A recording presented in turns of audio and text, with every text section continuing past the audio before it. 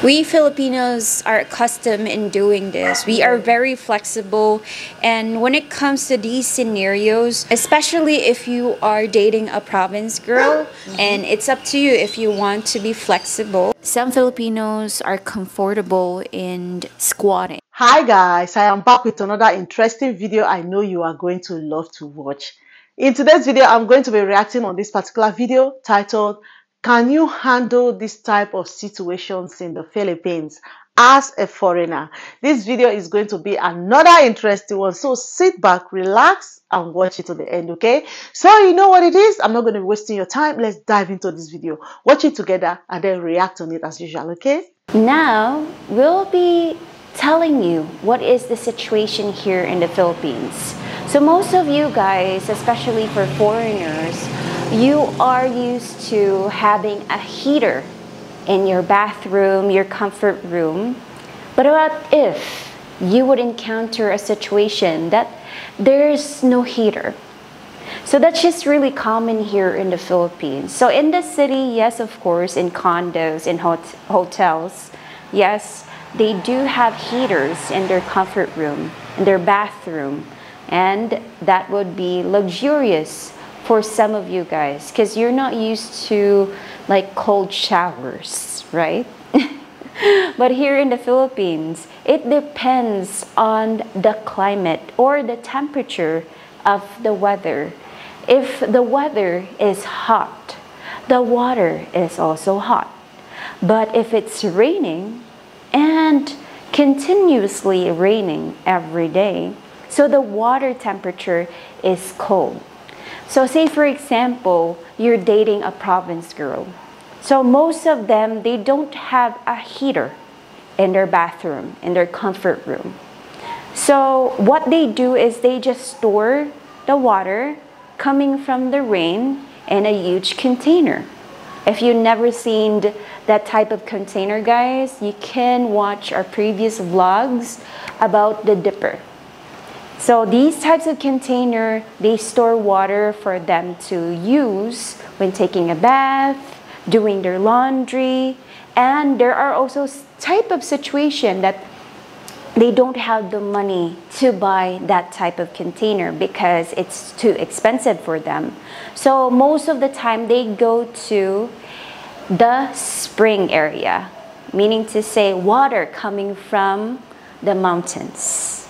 So this spring water provides them drinking water and also they use that spring water in order to take a bath. Yeah. So it's an open space where there's a lot of people that are also taking a bath. So mm-hmm. now in this video, I'll be showing you the scenario how to take a bath in the Philippines, especially in the province in the open area. So let's go ahead and get our shampoo, yeah. our soap, and our toothpaste and toothbrush. Come! We have everything here, guys. So we have yeah. our soap, our toothpaste, our toothbrush, we have our shampoo and conditioner. So in the mountains, mm -hmm. if mm-hmm. you are oh. taking a bath, of course, you need something to wear. So most of the provinces or most yeah. of the people in the province, they do have a specific clothes to wear in washing or taking a bath. So most of them would have sleeveless or they wear a pajama. So that is their comfortable wear in taking a bath. So for me, I'm using this sleeveless in order for me to take a bath properly.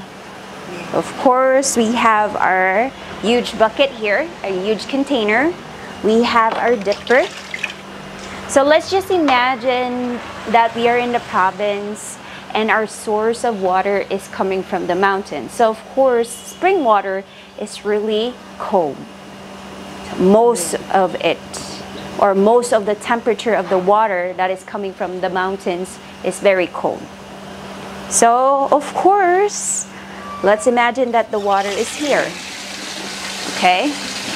Then, you need to put your things where you can reach it.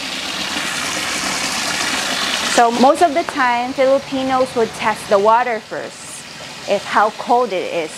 So most of them would touch the water or they put the water on their foot like that. So they would know how cold the water is.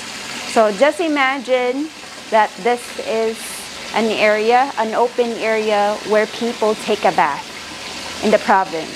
So most of us in the city too, we put a container here and we will be here, the space, so that whenever we use the water, the used water that is dripping on our body, we can use it to water the plants or wash the floor. So that's the scenario here in the city. But in the province, since it's running water coming from the mountains, so they don't really use the container here. There are also cases that if they're too far away from the mountain water or the spring water, so they would prepare huge containers and store water coming from the rain. So that's how they take a bath.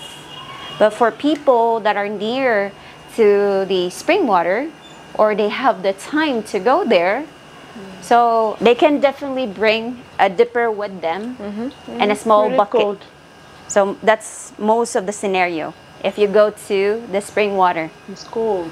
So I'll be showing you how we take a bath in the province. Most Filipinos try to check if the water temperature is cold or not. So they try to touch it and put it on their feet. Then some Filipinos like to stand up while taking a bath. So initially we try to wet our body Point their legs. and try to scrub it if we have dirt. yeah. So this is how we behave when taking a bath, especially for public mm-hmm. areas or open Yeah. areas. And some Filipinos are comfortable in squatting. So for me, I'm okay with both. Oh, so I do the squatting or standing up. And mostly they want to scrub their body. And when we try to mm. rip off the oh. shampoo, so most of our shampoos are in sachet. So we don't really use a scissor. We use our yeah. mouth to open it. Yes. Mostly that's how we do the initial and taking a bath. After we're done shampooing our hair, so of course we have this river stone we use to rub our skin. Some actually don't really do that, but some wants to really get the dead skin off their skin. So mm-hmm. for me, I prefer it. That's why I have this river set. Cool. That's why I have this river stone, so that I can really mm-hmm. get off those dirt on my skin.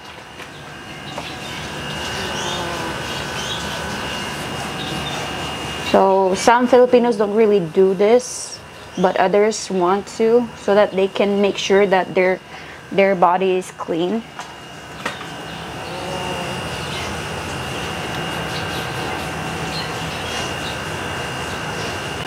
Some of you would definitely think that, oh, why are there stones on the comfort room or in the bathroom? So this is the purpose of it. They use that to clean their body to scrape off the dead skin or the dirt. So some would think that, oh, you can definitely use that as a weapon. Of course, it's a rock, it's a stone. But the most important part there is most Filipinos use this to really make sure that their body is clean. That's the purpose of this. So afterwards, we're done with that. Okay, we will get our soap and, of course, clean our body afterwards.